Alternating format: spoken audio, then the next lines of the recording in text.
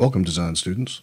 In this series of lessons we're going to learn how to rig a character and we're going to use the rabbit character mesh that we created earlier. Now my character may not look that different but if I push play here you will see that he moves and this is just a series of random poses I use to uh, paint the weights on the vertices of the mesh and you'll see what that means later. But I did not animate him to do anything specific. I just wanted to show you how he moves. Now, rigging involves creating a skeleton inside the mesh and then creating controllers that are bound to that skeleton or certain bones of that skeleton or combinations of bones that you can then easily select and rotate or move to make the mesh deform. And the bones are bound to the mesh and certain vertices of the mesh and influence them when they move. And that's what causes the mesh to actually move like skin. I have my bones hidden. You can see I have several layers here. If I unhide them, you can see the bones inside the mesh. And then you can also see if I unhide the controllers here that control them. If I select this one and rotate it, you can see I can make it wave at you.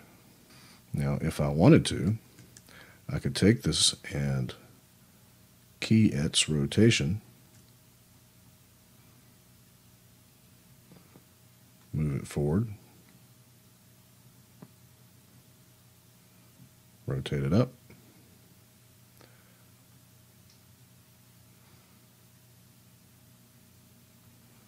Take this keyframe, copy it, and then paste it. And now he will be waving in addition to the other things he's doing. You can see he moved his arm a couple of times.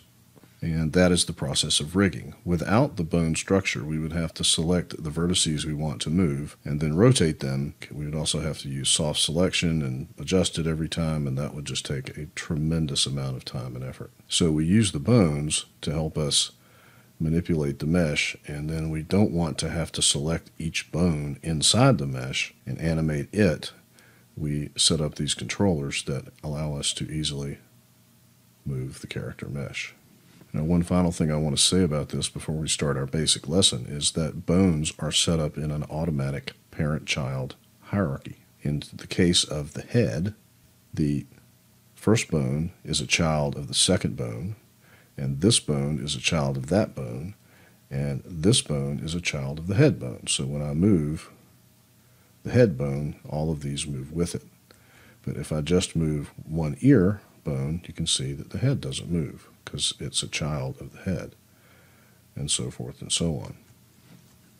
And it's important to understand this hierarchy setup because you're going to have to set it up when we do the controllers. So in the next video, we're going to set up a simple skeleton and we're going to set up a simple hierarchy and control system on an object other than the rabbit so that we can just understand how this process works. And I'll see you then.